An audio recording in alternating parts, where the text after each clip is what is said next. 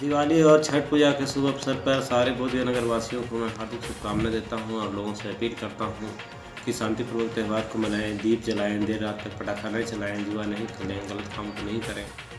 पंचायत के वासियों को दीपावली एवं छठ का ढेर सारी शुभकामना देता हूँ और शांति से त्यौहार मनाने का हम लोग प्रयास करेंगे। मैं समाज सेवी डॉक्टर विजय कुमार, बोलिए। नौ नंबर वार्ड से कुमारी प्रिया।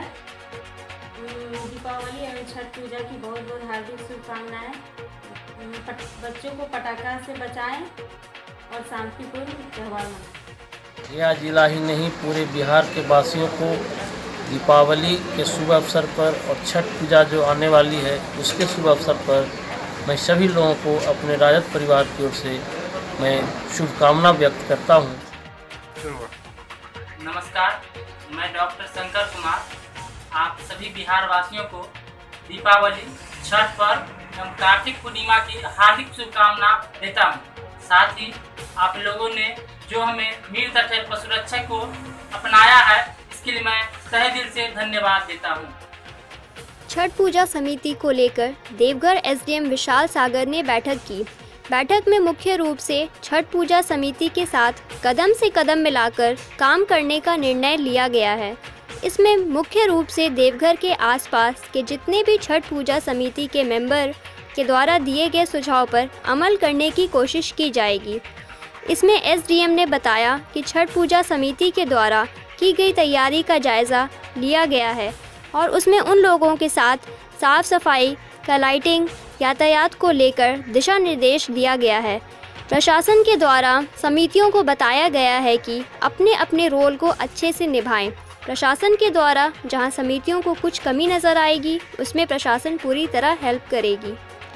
वहीं पर एसडीपीओ विकास श्रीवास्तव ने बताया कि छठ पूजा समितियों के द्वारा कुछ डिमांड किया गया है। जैसा कि नंदन पहाड़ के आसपास कुछ असामाजिक तत्वों द्वारा वहाँ अड्डेबाजी करते हैं। हम लोग उस पर कड़ी नज़र रखेंगे और रोहिणी में एक दो तालाब के पास ट्रैफ़िक को लेकर के भीड़ ज़्यादा होने के कारण उस जगह पर ध्यान दिया जाएगा। टाउन में भी ट्रैफ़िक को लेकर जो इशू बनते हैं, उस पर भी ध्यान दिया जाएगा।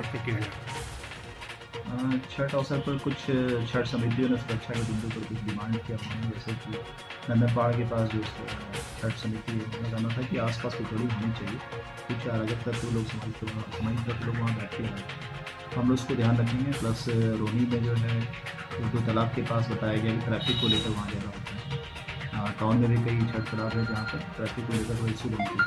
तो हम लोग ट्रैफ़िक को उनको घंटे के साथ मिलकर स्मूथ करने का प्रयास करेंगे और जहाँ असमाई तत्वों का जमाव होता है वहाँ लगातार हम लोग के बीच से और आसपास के अधिकारी अभी हमने छठ पूजा समितियों के साथ में घाट समितियों के साथ में मीटिंग की है, जिसमें मुख्यतः हमने निर्देश यही दिया है कि जो उन समितियों का रोल है बेसिक रोल है, जिसमें कि साफ़ सफ़ाई करवाना लाइटिंग करवाना ट्रैफ़िक को सुनिश्चित रखना वॉलंटियर्स की नियुक्ति और सेफ्टी पर ध्यान रखना, ताकि कोई भी अप्रिय घटना ना घटे।